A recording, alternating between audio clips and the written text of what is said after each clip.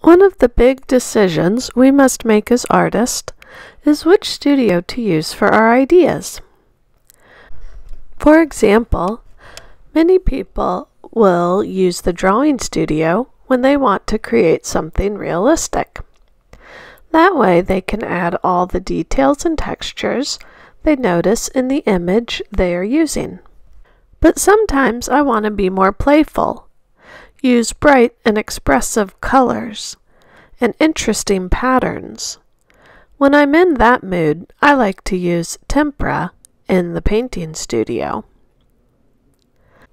I still begin with a picture and then a drawing, finding my simple shapes.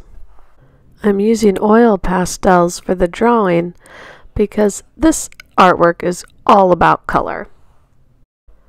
After your drawing is done, you're ready to set up your paint tray. You need tempera paint, a bowl of clean water. I got two paint brushes, one thick, one thin, a paper towel, and a white plate for mixing colors. And let's begin.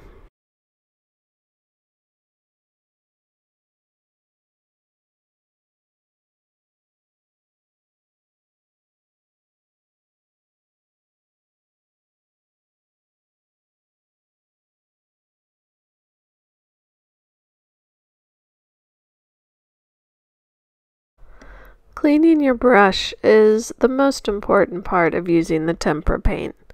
You wipe off the extra paint first on your paper towel, then rinse it in your water, and then dry it on your paper towel again. Then you're ready for a new color. I'm going to mix a color now, so I add white to the plate, dip the brush in red, and mix it into the white to create pink. The plate is for mixing your colors on, not the tray of tempera paints.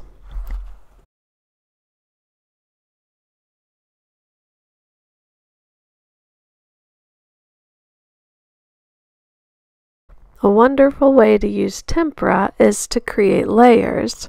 I'm painting stripes on top of the yellow.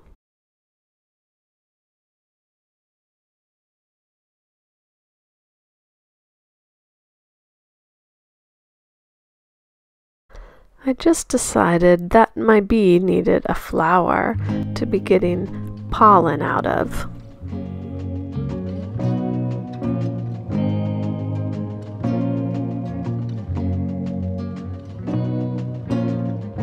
Here I am painting white paint on top of the red paint, which blends together because they're both wet.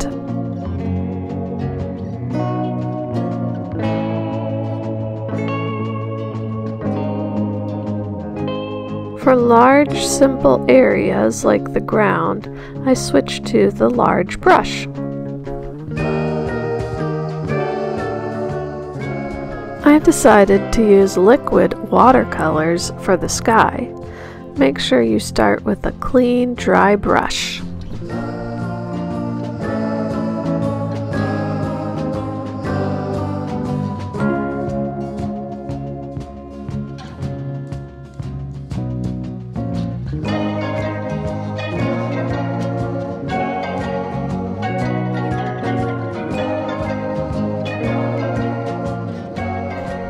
I had a little problem where the watercolor got onto the black tempera and it spread a little bit.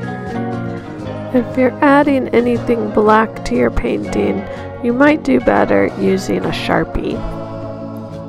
The liquid watercolor dries so quickly, I'm able to add some more bumblebee friends right on top. Adding that bit of pollen to the center of the flower.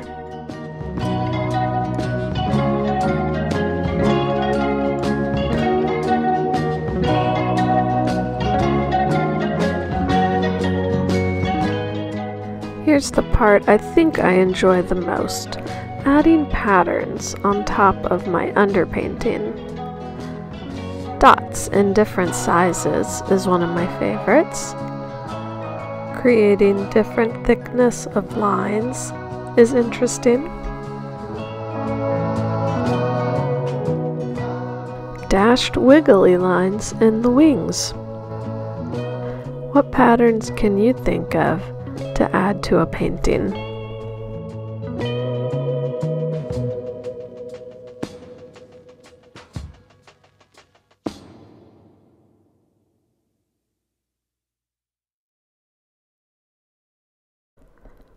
Let's try another painting using a fish as inspiration. Again, I'm using many different colored oil pastels to create my drawing.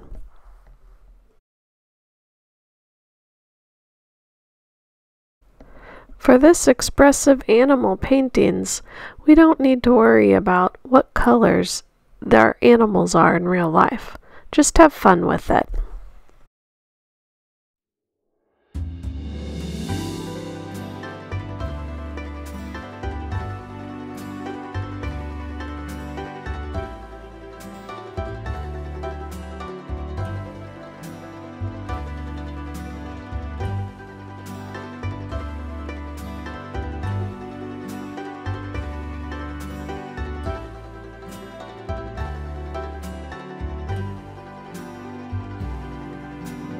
See how nice the pink paint looks on top of the orange paint? That is a layer of color and it's one of my favorite ways to paint.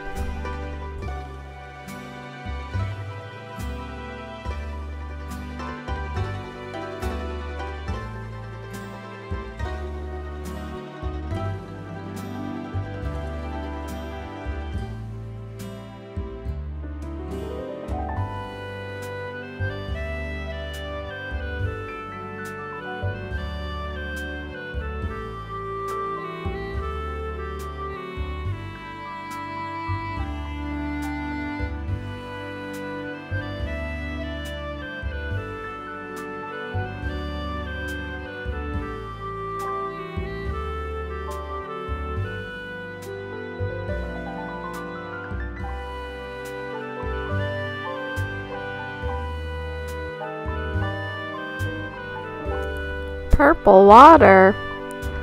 Don't mind if I do. And I'm using the liquid watercolor again.